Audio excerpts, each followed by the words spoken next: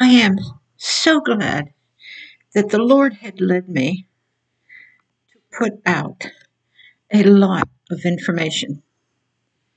I understand and know that it is so much. That's why there's so many videos. Uh, and there's so much information in even one of them. And, you know, uh, depending on what you're looking for, what you want to understand, you might think it's a, a little bit much. But uh, in a time, ever since I can remember, people in power and control do not want you to know anything. Whether it is in a church, you know, the church I came from, uh, and I'm not saying I came out of it because my parents and my grandparents went to it. I didn't go to it. But in that church, only the priests could read the Bible.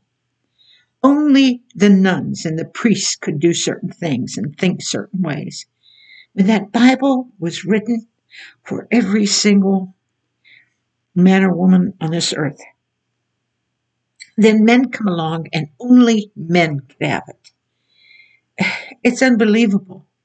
And even to a point where I had a woman look at me because my daughter at the time, nine years old, had a close relationship with God. And she said, Shame on you. You're child loving God that much. you stop and think about it.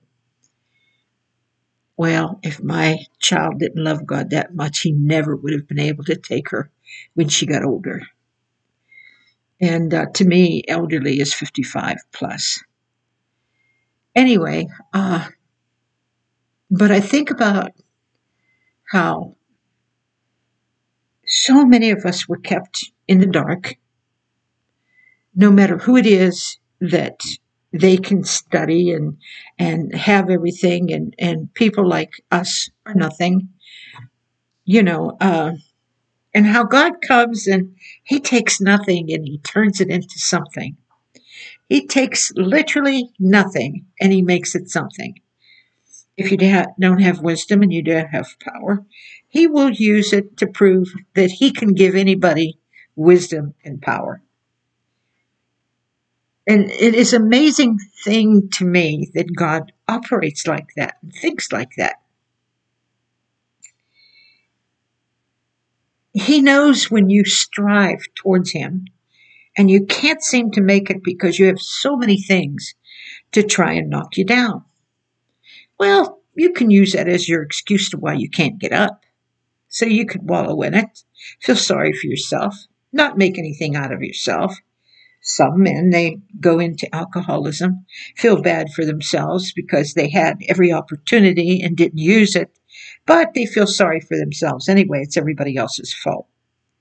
Or you can go into drugs where all you think about is feeling good and doing things. Or you can go into the evil parts of the world and just do everything and say, I don't have to do anything. I'm going to do what I want to do. And that's just the way it is. You, you can be stupid. you can, you can do things to destroy your own life. But a lot of you not only destroy your own life, but you destroy the life of those around you. Fortunately, we serve a great, big, wonderful God. One that will come along and, like he said, he'll, if he sees you and finds you in your own blood, he picks you up. He nourishes you. He loves you. He strives to help you. He'll wash you up and clean you up inside and out, and give you the grace and power to be anything that you want to be.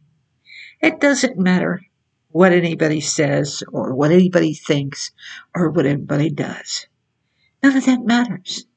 The creator of all of life thought enough of you that he died for you.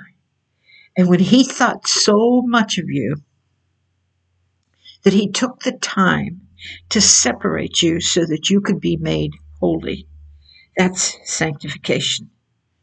You can't pray it with somebody else praying over you. You can't get that by somebody else praying. You'll get a beginning of it, you'll get a touch from it, but you have to go with God on a journey by yourself, just you and Him. You are the one that has to make that choice. No matter how somebody prays over you, all somebody can do when they pray over you and lay their hands on you, all they can do is give you who they are, give you what they think, what they feel. So if they're wrong and they are deceiving and or deceived or deceptive, they're giving you a part of themselves. And whether you know it or not, that'll hinder you for the rest of your life if you do not get it out.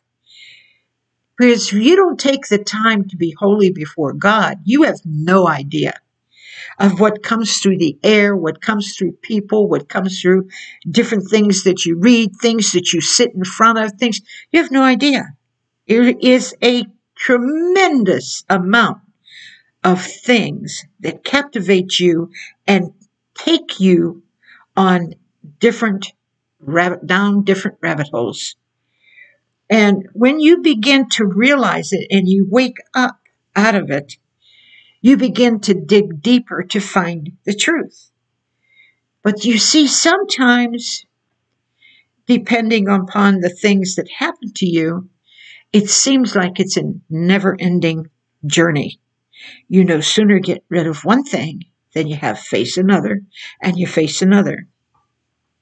But I'm here to tell you there is an end to that road.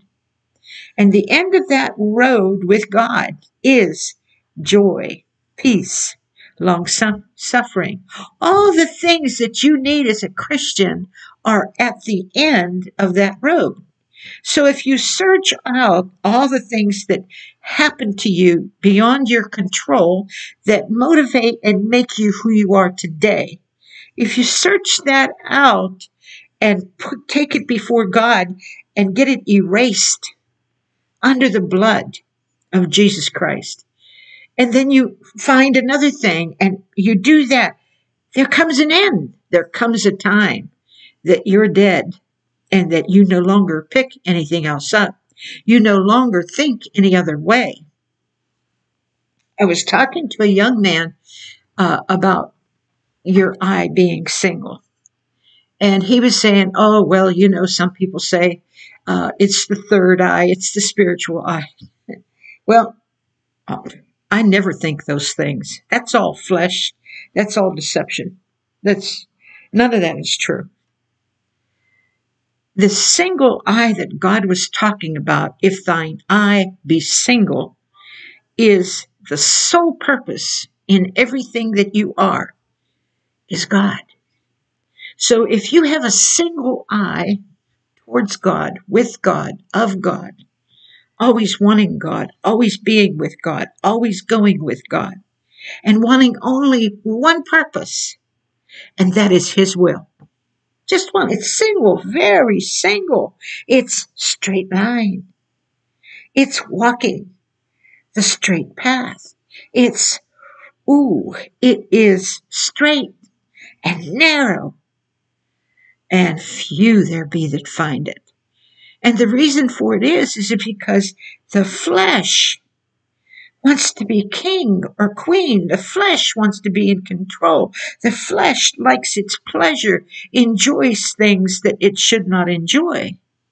The flesh, they want to be seen, they want to be heard, they want to be understood. When you find yourself in a position that you sit down, and, and I did it many times when God corrected me, even as far as yesterday, I walked into a room and I and I uh, I went to go say something and I saw God go, because He had just told me there's certain things don't say them. Be still. There's no purpose to say it. No reason to say it. I had to learn how to hear that.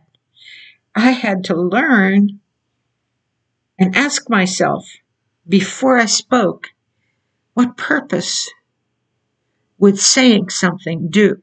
Would it change that mind? No. Would it create this? No. Would it comfort me? No. It has no purpose.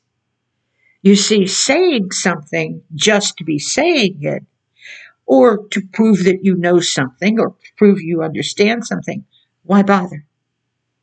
Who cares if anybody else knows you understand? Who cares? I had to learn. God would say, I can remember walking into a, a large Bible study class, and I sat down. I understood everything the pastor said, uh, other people said, everything, and they're asking for answers and searching for answers and claiming that they're looking for the answers. And the Lord in me had the answer to everything. Everything. There was not a single question I could not answer, and I knew far more than anybody sitting there. And I went to go rise up and, and give my answer, and he's, no. You are not here to show people how much you do know because you can do that, but that's not what you're here for. I sent you here so that you could see how they treat me, what they do with me, how they think and feel so that you could help them. You may even help them when they don't even know it. But it has nothing to do with anybody thinking you are something. Because your mind and your purpose has to be single minded, his purpose. I was there for his purpose. I was there to learn what he wanted, what he said, what he thought. I heard he knew a lot of things, but I wasn't there to prove anything. But if I wanted to be seen, wow, I mean, they would have been, they would have been floored. But that isn't what God wanted. Was unimportant to God if anybody knew that I knew anything. That was totally unimportant to God.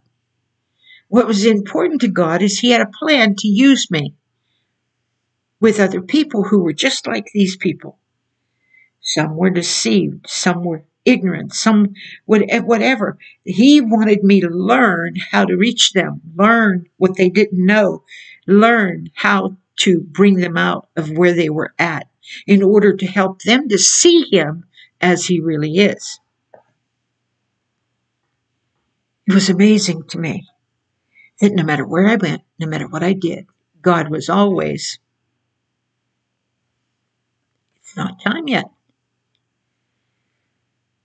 Oh, I can remember not too long ago, a few years back, where I went and prayed a certain way, and he just, and oh, it was very, very powerful. And he just stopped me and he said, Merienne, it's not time yet. There is going to come a day in your life that you're going to be doing this, but not today. I had to learn submission. I had to learn patience. I had to learn truth. I had to learn because you see, if I would have been like so many, oh, I got it.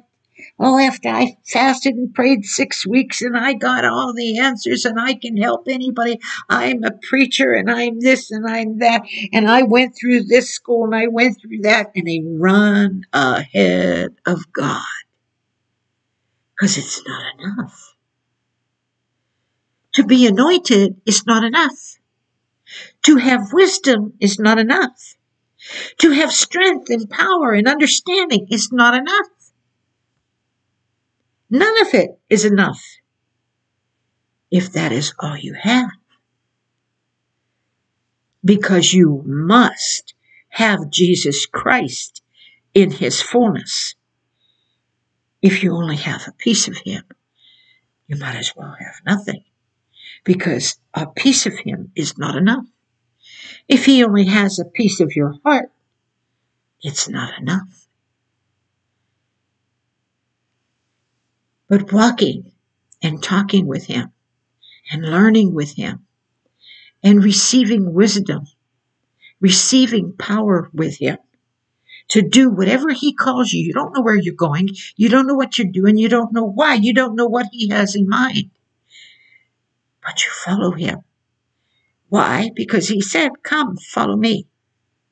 I will make you what you need to be. Come, follow me. So as you live one day at a time and you deny yourself and you work and labor with him and you, you learn how to use the words of knowledge that he gives you. You learn how to seek out and search for God. You learn an individual relationship with him that just grows and grows and grows. You learn that.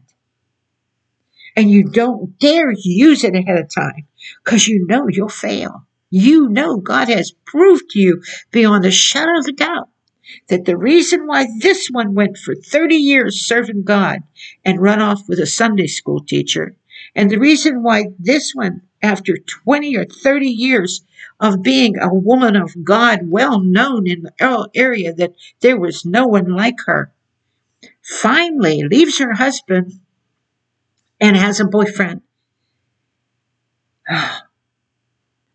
mind boggling. Mind boggling that people could do that after walking and talking with God and Him revealing things to them, give, knowing the mysteries and the secrets of God. And then one day they just don't want Him anymore. They just, they, they wanted this deep inside their heart because their purpose was not single inside the evil imagination of their heart. Like that one woman, she lived for a day where she would have another man who would treat her differently than what her husband was doing. She was just putting up with him. She just was enduring him. She was not helping to change him.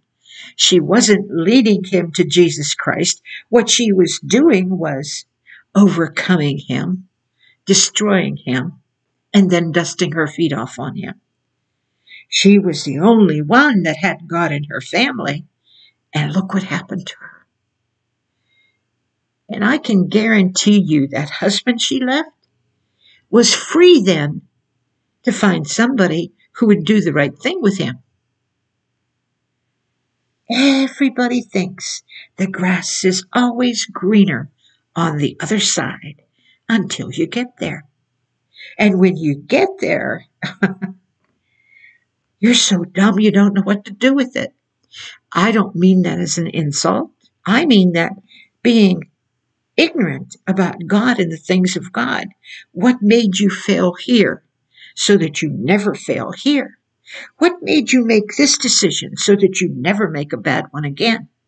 What gave you the understanding that this was going to work this way so that you never have that understanding again? Because if life doesn't teach you for Jesus is the truth, the life, and the way. If life in God does not teach you what not to touch, what not to do, how to change, you carry the same old baggage of who you are. And you're blaming everybody else. Well, it's all his fault because if he wouldn't have done this, I would have never done this. It's all her fault, because if she wouldn't have done this, I'd have never done that. There's no difference between them and the man that beats his wife and says, Well, if you wouldn't have opened your mouth, I'd have never hit you. Well, if you wouldn't have gone over here, I would have never done that. There's no difference. It's the same spirit. You follow the same spirit that's coming against you. Like the young man I was talking to and uh, he's had parents of religion that he knows is wrong. And when he would speak to them, he spoke to them in the same spirit. They would speak in control, trying to force what they believed on him. And because he defended himself, then he spoke exactly the same way. It would have been better to zip it and let God handle it.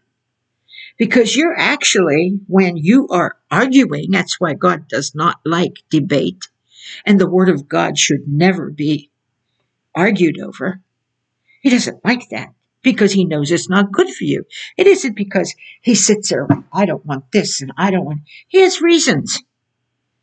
He doesn't like you arguing the fact because he knows that if you would just leave that situation alone and talk to God and leave it in the hands of God, if you would just do that, then you would see the wisdom of God in it. So you give out what you're getting and you think you're answering it. So then the scripture says, be ready to answer every man for what you believe. Okay, so what you do is, is you begin to argue. Somebody comes over to you, tells you how they think and feel. Instead of you just letting that go and, and, and, you know, you, you can confess, well, this is what I believe. But once they will not accept it, then you stay completely away from them. You walk away. You walk away with love. You don't dust your feet. Who do you think you are? That you can literally act like an apostle or a disciple when you don't know anything. Well, they didn't receive me, so therefore they're going to pay. Oh, I cannot tell you how evil that is in the sight of God. I cannot tell you how you are so foolish that you could think this way and, and be this way and not have any knowledge to reach anybody. And when they don't accept what you don't have, then you get angry and say, I'm going to dust my feet off on them. And it's like you're casting a spell on them. They're going to pay. Oh, my goodness. Very few people have that power to do that because they have to be 100% absolutely right in what they believe. If you hang on to a doctrine, you are not 100% absolutely right. If you hang on to tradition, you are not 100% absolutely right. If you hang on to past religion, you are not 100% right. The only way you are 100% right is when He lives within you 100%. And that means you have no other purpose but Him. Like I had said to this young man, I said, My whole life has been this way. If I don't have you, kill me now. I don't want to live. If I cannot know that you go before me and that I'm walking and talking with you, take me now because I don't want to live. There's no purpose in living. There's no purpose in doing anything. If you either straighten me up and line me up or take me, because I don't want to live without you. I don't want to live without you in every thought in my mind. I don't want to live without you with every thought in my heart. I don't want to live without you. I have said that to God probably millions of times. Millions of times. And when I suffered, you think I was so perfect that I did it exactly right. No, by that time I was begging him to kill me. I would fall down on the ground and roll in the dust and just lay flat on my back and look up at heaven and say, Kill me now. I can't live like this. I can't endure this. I can't do this.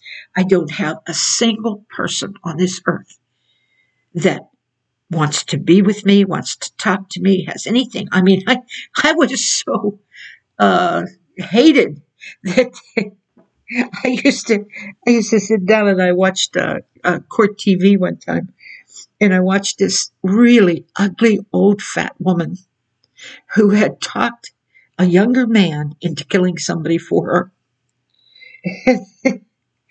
she at least had a family. She at least had people that loved her. And, and I'm looking at her going, Ooh, what's wrong with me? Not that I want anybody to do that, but I mean, look at the degree of power she had with them. And I went, oh God.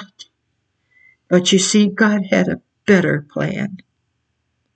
He wanted me to be under the influence and power of Him and Him alone. He was very jealous for me.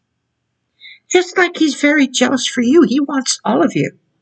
He doesn't want part of you, he wants all of you. And when I didn't give it all, you talk about spanking. I got spanked. And he would come to me and talk to me and say, Merienne, you came this close to losing your soul. The mistakes and choices you were making where you would not listen to me, you almost lost it all. Now, when you know God speaks to you like that, you go, oh, wow. I mean, something inside of you wakes up. Just like I said about the time when he come and told, gave me a psalm, and I said, I don't need it. I read that so many times, I already know what it says. And he did that for seven days. He brought it for seven days. And suddenly, one day, on the seventh day, it was like he stood before me and said, Merienne, do you know who you are talking to? That you were telling that you don't need my word? You talk about crushing me. Hit me so hard. As close as I walked with him, as many times that we had intimate things that were so great between us, spirit to spirit, there I was telling him I don't need him. It crushed me to know that I was capable of being that way and doing that. It literally, you might as well have taken my heart and broke it and ripped it in two. So what I did was is I strove for seven more days and read that psalm over and over and over all day long for seven days, looking for what? For him to speak to me, for him to tell me what he wanted to originally tell me. Over and over and over. And each time you're talking to a woman that could hear him easily, that he always talked to every day in everything. And suddenly I could no longer hear his voice. Suddenly he wasn't there anymore. Suddenly, because I had rejected him for seven days, now you have to look at his part. Would you have cared if you loved someone and they rejected you every day and said, I don't need you? But his mercy was so great because after the second set of seven days of me striving, in his mercy, he began to open it up. And when he opened it up, I could not believe the revelation, the understanding, the wisdom, the power, and everything in it. I could not get enough of it. And I searched with it and worked with it for seven more days. And when I tell you I work with something, I don't do it five minutes a day. I do it all day long, every day, and all night probably sometimes. And finally, I got his message. But I learned never to do that again. If God leads you into the part of the Word that you've read a million times, go there. There's a reason. If God leads you to, to see a certain thing, whatever it is, go. There's a reason. Don't tell him you don't need him. When it comes to his word, don't ever tell him that. You'll wind up like I did, only he was merciful to me. He still drew me in. He still, from that time on, it was like I never did that. You know, he erased it. He just took it away. And like it never happened. And the only reason why I remember it is for a testimony. Every single thing in my life is as though it never happened to me. It happened to someone else. No matter how bad it was, it, it was like it happened to someone else because he took the pain of it away. He took everything away. But he uses it to inspire people to understand how he operates, how he thinks, how he feels. And if you love him, you'll want it. Oh, will you want it? You, oh, will you thirst after him? Oh, there is no limit to where you would go and what you would do just for those few moments of being with him. And how many times when I would pray, and one day I said, Lord, how come I don't feel the presence of God on all my prayers? I'm close to you. Shouldn't I feel the presence of God on all of my prayers? Well, I was right because he was letting me know and letting me see when my prayers were of me and my prayers were according to his will. Thy will be done on earth as it is in heaven. That's why I say to you people, you ask yourself, when you force your husband into submission, into believing that you have the only one that have God, and you are the only one that knows anything, and that he will never know anything. When you force him to bow his knee to what you think is God in you, ask yourself a question. Is that in heaven? Thy will be done, O God, on earth as it is in heaven. I promise you, that is not in heaven. And when that husband does that with his woman, to force her into submission through prayers, you see, these are hands that manipulate. This is your prayers. They manipulate. They intimidate. They strive to get their will and they work it that way. That's how spells are cast. That's how, because there's power. There's power in your thinking. There's power in your belief system. There's power, and you love to work that power. But if you're single minded, single minded with one purpose, and his name is Jesus Christ, and everything was made by him, everything was made for him. There was not anything made that was made that was not for him. Now, when that single minded purpose is, wherever I go, whatever I do, I will do it with all my heart, soul, strength, and mind as unto you. I won't do it for someone else. I will do it only for you. You see, I get tired. I'm as human as you are. I get tired of doing this. So and so doesn't appreciate me, and they, I'm just like a slave to them. And I get tired and I get weary. And I get to a place where I don't want to do it anymore. That's the flesh. But if I'm doing it in the spirit the way God told me, because I, I remember the day, and, and I think I shared this before, but I remember the day that God had restored me and was slowly restoring me to make a habit. Fix your bed in the morning, get ready for your day. I had to go through that whole thing every day to make everything a habit because my life was in chaos because I had laid for so many months in bed sick.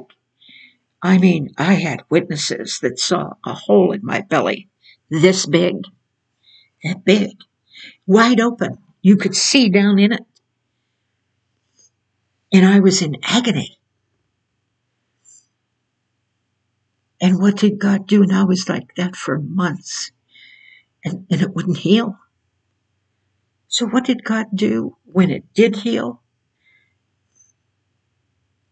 He slowly took me and showed me the way. If you don't have organization and order in your life, and it's hodgepodge. You do this when you feel like it, you do that when you feel like it. Then you have no chance to make anything a good habit. You get up in the morning, this is the first thing you do, this is the second thing you do, this is the way you do it. You don't do number two, number three until you're done with number two. And that's what he taught me. So My husband had always been this way. We're going to be married 60 years, and he was always this way. He always enjoyed getting up in the mornings, five o'clock in the morning, and making his own breakfast.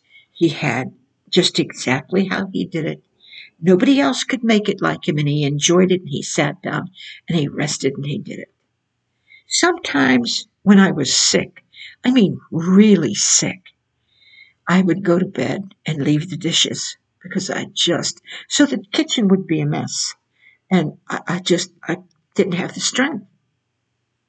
So I would wake up two o'clock in the morning and I would clean while he was sleeping the whole kitchen up to make sure everything was spotless and everything was ready for his breakfast. And then I would go back to bed. And I remember doing that. And I remember telling the Lord, I don't know why I'm doing this, Lord. I know you told me to do it, but why would I want to? He doesn't even appreciate it. He doesn't even notice. He doesn't even care. Why would I do this? And the Lord said to me, Merienne, don't do it for him. Do it for me because I asked you to. That changed the whole picture. That taught me how to do only for him, not anybody else. When somebody is being nasty to you and mean to you, and you stop and pay attention with that and you engage in that, don't do that. Focus. Oh, don't focus this way so you could hurt that one. You got a problem when you do that because it's going to come back on you every time. Focus. What does it matter what this one says? What matters is what he says. I hope this has helped some of you because that's the only reason why I talk.